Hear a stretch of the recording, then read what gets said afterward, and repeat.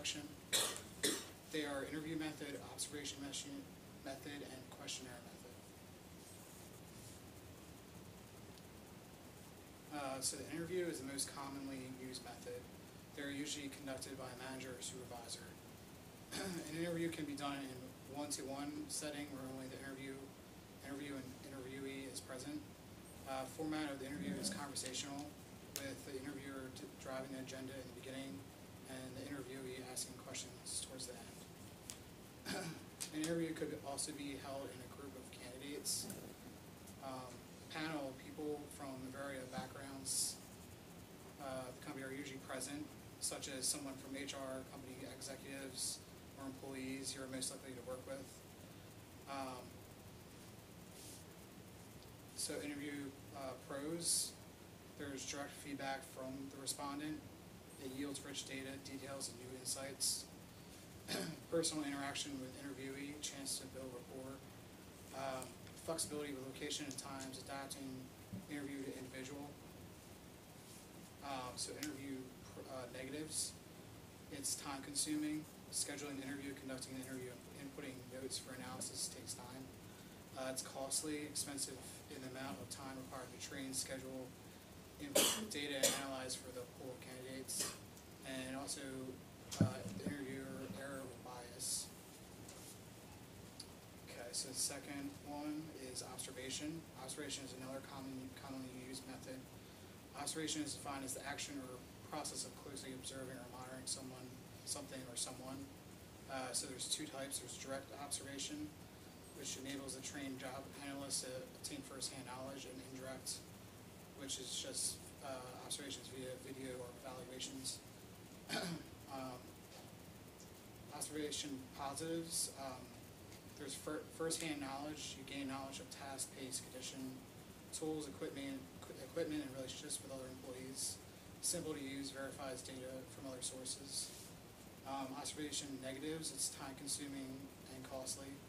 Uh, there may be bias toward work. There might be bias worker performance. Small sample size requires skilled observer. Validity and reliability may be problematic. and questionnaire uh, is the finally commonly used data collection method. Questionnaire is defined as a set of printed or written questions with a choice of answers devised for the purposes of obtaining statistically useful or personal information from individuals.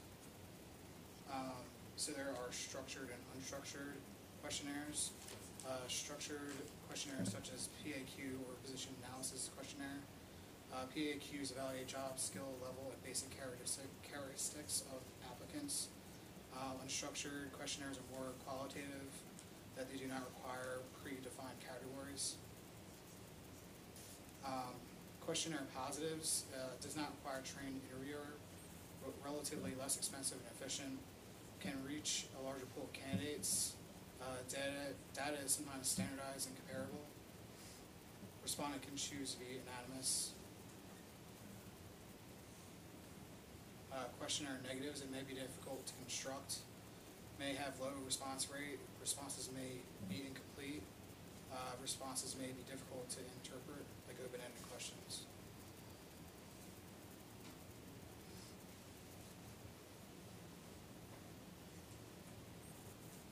So for new and you, um, I work at Target in Marlton. Uh, when I was first hired, they use one-to-one interview, and they use uh, a lot of structured applications. Even now, I, they, I still have to take applications that are that are structured. Uh, as I said, Target uses a one-to-one interview with two different supervisors. When I was interviewed, I was asked several uh, thought-provoking questions like, what was something you did wrong in your last job, and what did you do to improve or change it? Uh, interview questions mainly focused on work, work ethic, skills, and personality. uh, when I was first hired, and even during my employment, I've taken target questionnaires that are structured and focused uh, around personality. A lot of the questions pick a situation in the workplace and ask you how you would respond to the situation.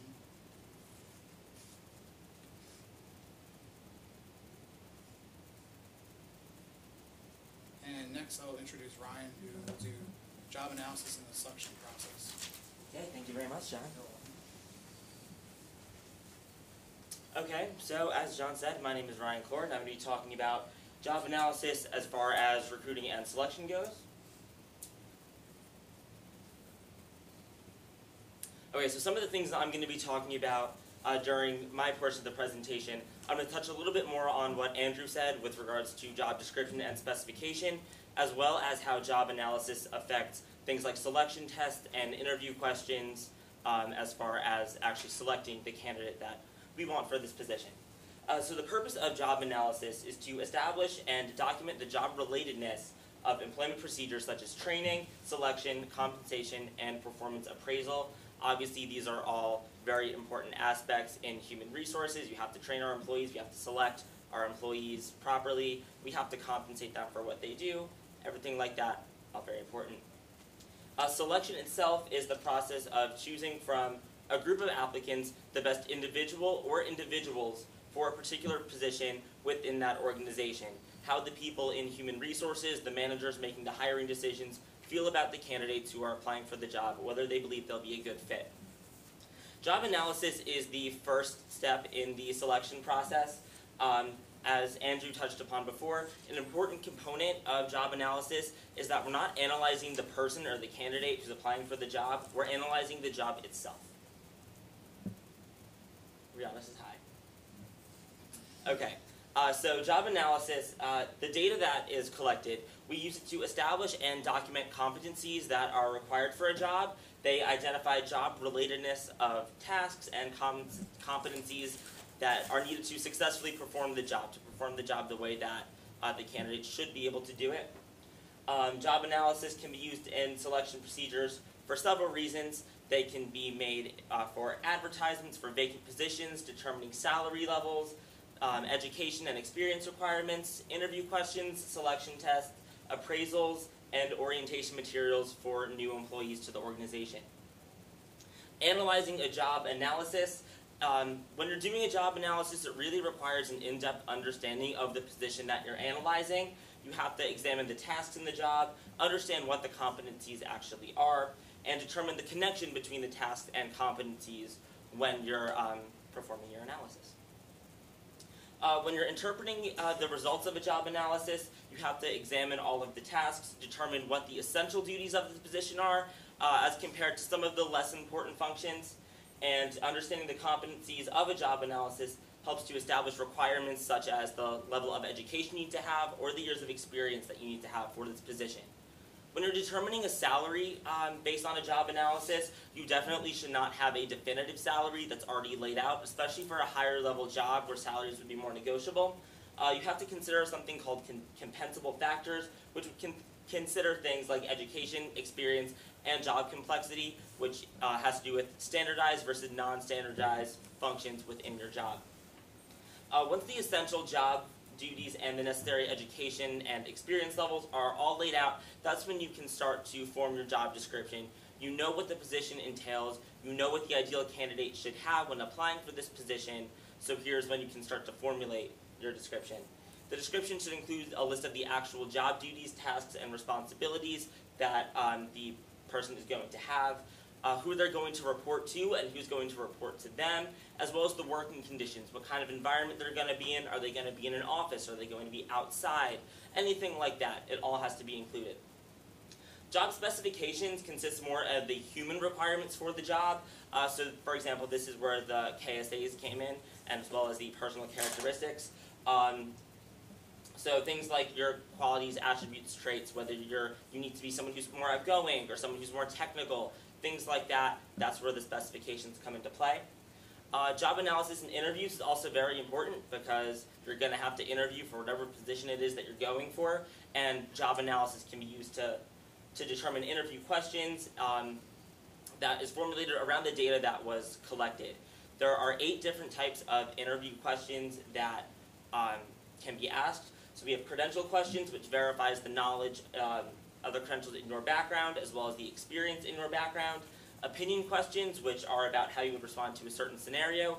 And behavioral questions, where they objectively measure your past behaviors as an indicator of future results.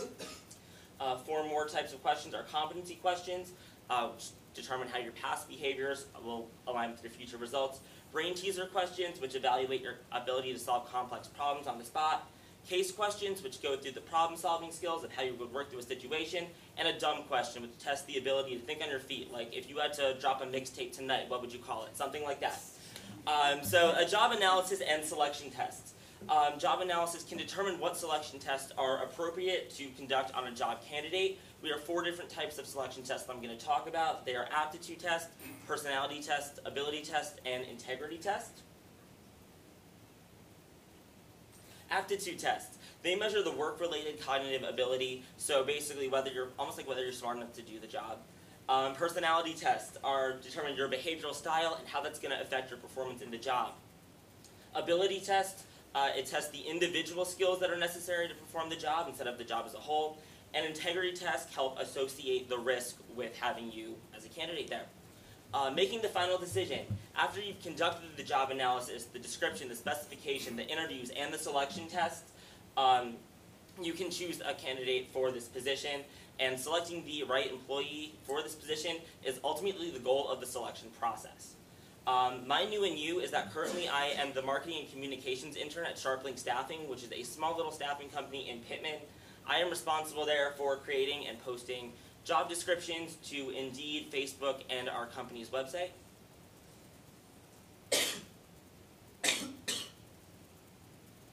Um, and having a solid understanding of these positions through the job analysis, it helps me to create better job descriptions and attract candidates that are more suited for the jobs that our company hires for.